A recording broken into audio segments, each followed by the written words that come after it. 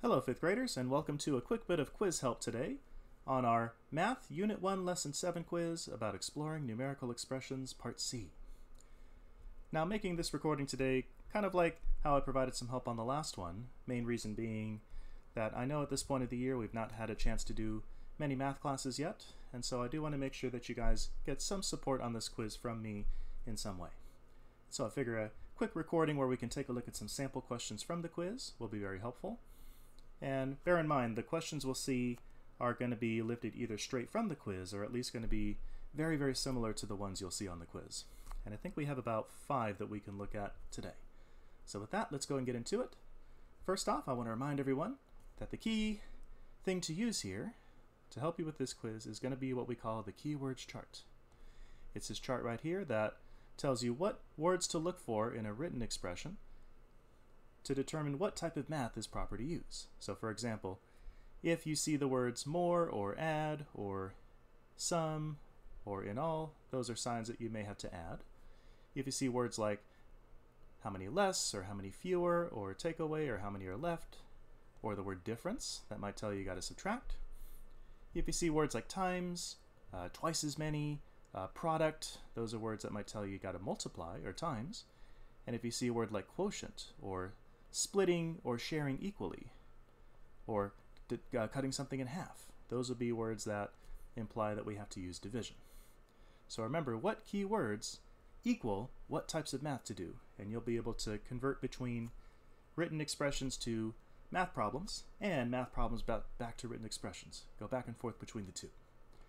So knowing that, let's go ahead and get in our first example, which is going to be a set of written statements featuring the numbers 28 and 7, and noting what keyword is used in each statement to determine what type of math is being done with those two numbers. So the first one is pretty straightforward. It says 28 times 7.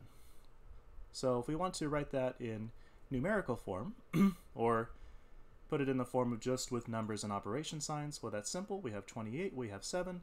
It says times, therefore put it multiplication or times sign. Sorry, that looks a little sloppy. Let's make that a little nicer. There we go. Next we have 28 divided by 7, also very simple. That implies we're just dividing, so let's put a division sign there. Next one says 7 fewer than 28. So this one may be a little less obvious, but if you take a look at that word fewer, and take a look at the uh, keywords chart, you can see the word fewer is actually right there. And what section of the keywords chart is it in? It is in the subtraction sector, section. So finding out what number is fewer than another number implies that you are subtracting, you are taking away. So we can stick a subtraction sign in there. So, so 7 fewer than 28 can be read as 28 minus 7. Next up we have the word sum. This is another good one to know. The sum of 28 and 7 so whether we're going to put a plus sign, minus sign, times sign, or divide sign right there depends on where can we find the word sum in the keywords chart. Well, if you look carefully, I can see the word sum uh, right there. There it is. And it is in the adding section. So the word sum actually is the word we use for the answer to an addition problem. Therefore, we can put a plus right there. Next up, we got quotient of what is the quotient of 28 and 7.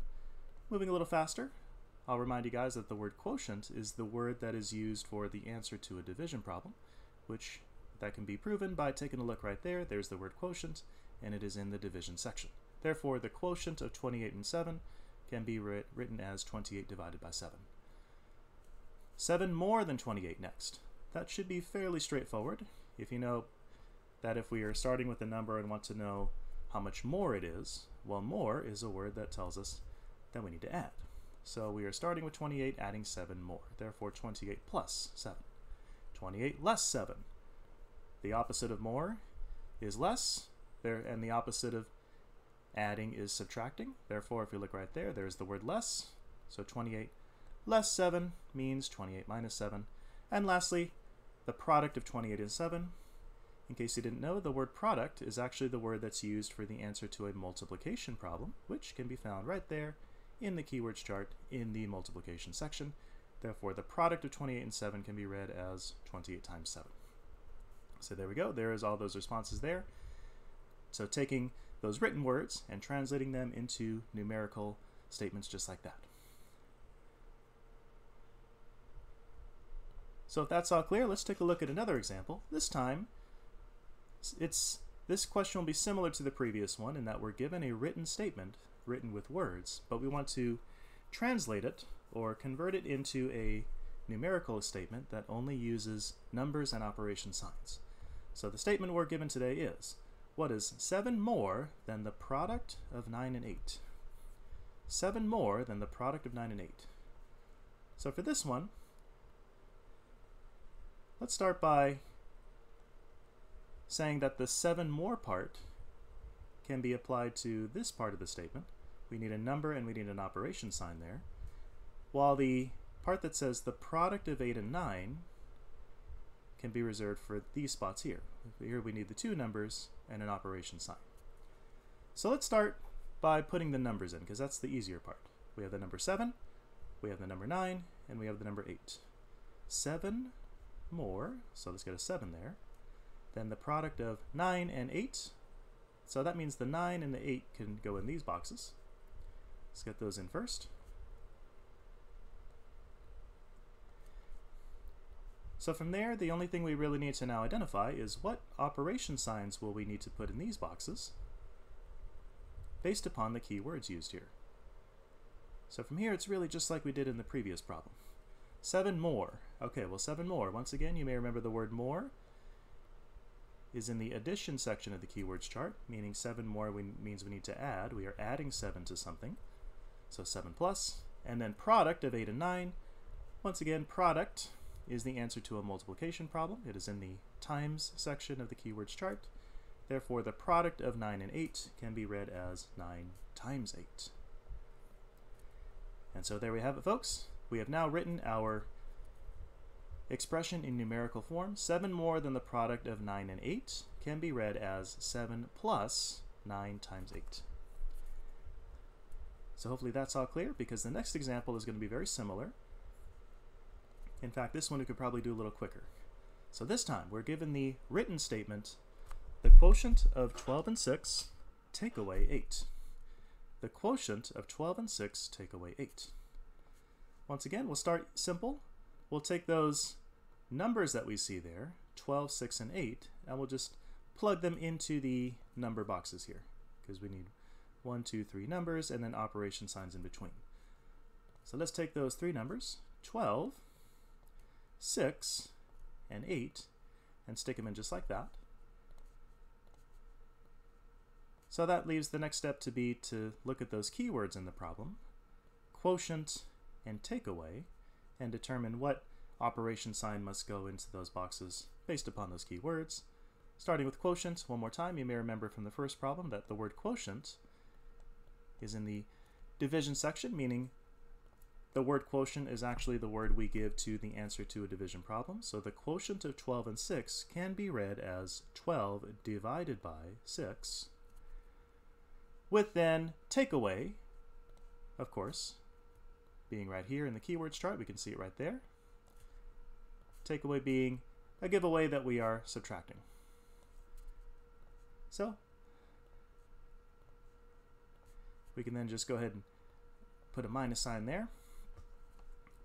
And there we have it. The quotient of 12 and 6 take away 8, that being the statement in written form, can translate to the math expression 12 divided by 6 minus 8. Very good, carrying on. This time, we're now going to do things the other way around, okay guys? The previous problems were all about starting with a written phrase written with words and then translating it or converting it into a math problem with numbers and operation signs. But this time we're doing it the opposite way. This time we are starting with a numerical expression written with just numbers and operation signs and then being asked to convert it to a written phrase using words. And so here's what we got to do first. You'll notice that I've already provided the numbers for us we got 14 plus, and then in parentheses, 9 minus 2. The 14 we already have right here. And then the 9 and the 2 we already have right here. So the only thing really to do in this example is now figure out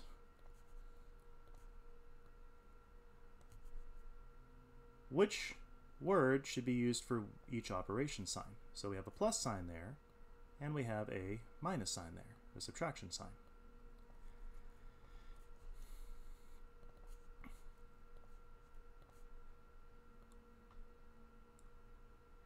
So the keywords here to going to be used are this. We have the blank of 14 and the blank of 9 and 2.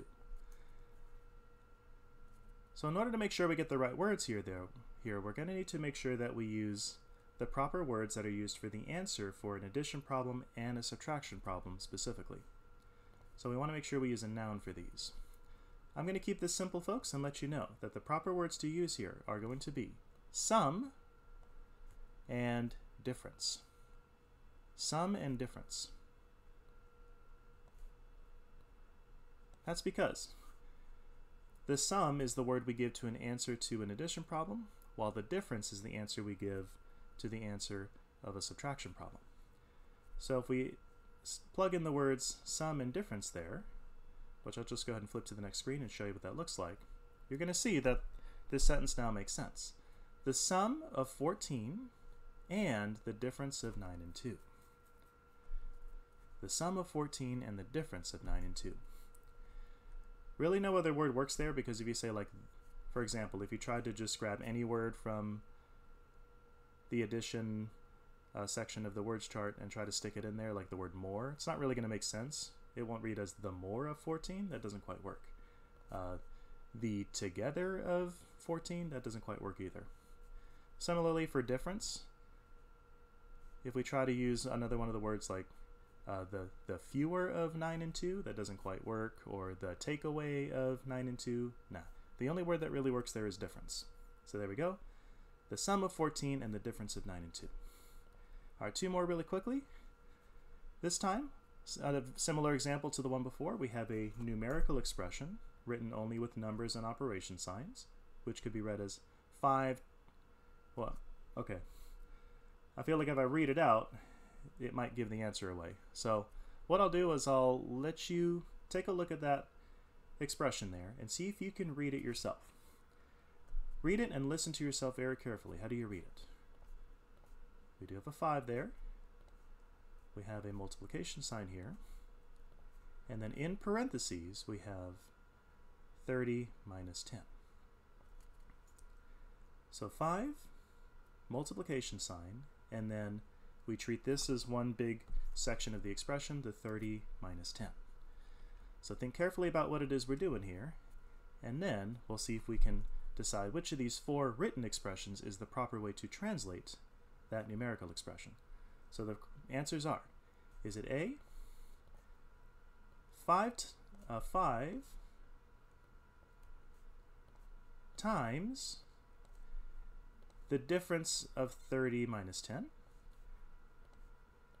Is it 5 times the difference of 10 minus 30? Is it the difference of 30 and the product of 5 times 10?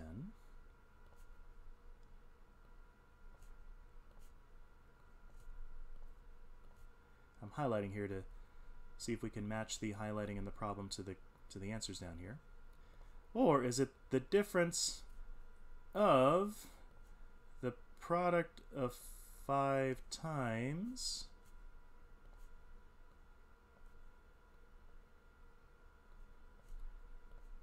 Ten and thirty. Okay. So if you look carefully at the numerical expression up here, and the possible answer choices down here, which one appears to, at least by looking at the colors that I highlighted, which one appears to most closely match it? Well, in the problem I have up here, I have the 5 highlighted yellow, the multiplication sign highlighted green, and the 38 minus 10 in parentheses highlighted blue. If you look at C and D, you'll notice that the, the colors in the problem up here do not really match the colors down here, right? Here, in these ones, we have the difference implying the subtraction as appearing first, with the multiplication appearing next. However, that's not really quite how it appears up here, right? We have the 5 times appearing first. Therefore, I think it should be plain to see that C and D are not the correct answers. So it's really got to be between A and B. As for which one is correct, the only real difference between these two is that they both start with 5 times the difference of, 5 times the difference of. The only difference is that answer A says 30 minus 10, while answer B says 10 minus 30. So if you look carefully at the actual numerical problem, which is it? Well, it's 30 minus 10, right? Which makes more sense. Remember, when you're subtracting, you have to start with a bigger number and then subtract a smaller number. You can't start with a smaller number like 10 and then subtract 30 like it says in answer B. At least not without going into negative numbers, but that's going to be more like a sixth grade concept. So the difference of 10 minus 30 is not correct. We're not solving for that. Rather, the answer must then be A because, as stated, it starts with 5. It has us multiplying, so 5 times 5 times. And what exactly are we multiplying 5 times? We are multiplying that by whatever the difference of 30 minus 10 is. Therefore, the answer is A. 5 times the difference of 30 and 10. So these two are equal to each other. It's just that one is written with numbers and operation signs, and one is written with words. Alrighty, last one. This is very similar to the previous problem, so we'll, we'll make it quick. Once again, we have ourselves three numbers here. We got 7 times 4 plus 3. 7 times 4 plus 3. In fact, I think I may actually simplify this a bit. 7 times 4 is the first step we would do, and then whatever that is, we would then add 3 to it, right? So let's treat the problem like this. 7 times 4 is the first step, then plus 3 afterwards. So which explanation would be the one, or which uh, written statement would be the one that best matches the numerical statement above? We're told, is it A, the product of 7 and the sum of 4 and 3? Is it the product of 7 and the difference of 4 and 3? Is it C, the product of 7 and 4 minus 3? Or is it D, the product of 7 and 4 plus 3? Okay, so right off the bat, there are a couple we can probably, couple answers we can probably strike out as certainly not being correct. If we look at the operation signs we're using here, we got a multiplication sign and we have an addition sign, right? We are multiplying and adding. Therefore, the only key words that should be used in the written answer should only be either multiplication or adding words. If you notice, answer B says the product of 7 and the difference of 4 and 3.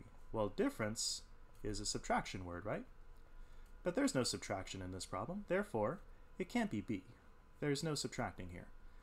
Same reason can be used for why we can strike out answer C. It says the product of 7 and 4 minus 3. But again, there is no minus, there's no subtracting in this problem, so we can get rid of that answer. It can't be correct. That leaves only, by process of elimination, only answer A or answer D. So let's look carefully one more time. They both start with the product of 7, the product of 7, hmm. But answer A says the product of 7 and the sum of 4 and 3 whereas D says the product of 7 and 4 plus 3. So they may look similar because this one uses the word sum and this one uses the word plus, and so you might think, well, well those are both adding words, right? Here's the key though. If we're told that we need to look for the sum of 4 and 3, what that would imply is that we would have to add 4 plus 3 first, which means the sum in 4 and 3 would actually have to have parentheses around it like this. But this problem does not have parentheses, right? We're not doing 4 plus 3 first, say to get 7, and then doing 7 times that 7. We're not doing that. Rather, what we are doing is we are doing 7 times 4 first, right, according to PEMDAS rules, and then whatever that answer is, which is 28, we are then adding 3 to that. So we're doing 28 plus 3, which is 31. So as for which statement is the one that produces that answer, it's not A, because the sum of 4 and 3, we are not adding 4 plus 3 first and then multiplying that by 7. Rather, we are, as answer D says, finding the product of 7 and 4, multiplying 7 times 4 first, then adding 3 to that. Therefore, the answer to this one must be D. Alrighty, so there we have it, a selection of problems either exactly like or very, very similar to problems you'll see on today's quiz. Hopefully this helps some of you out today. If you end up needing some support, I can help you guys out tomorrow. For now, thank you so much for joining me. Do your best on your quiz today, and we'll see you next time. Take care, everybody. Goodbye.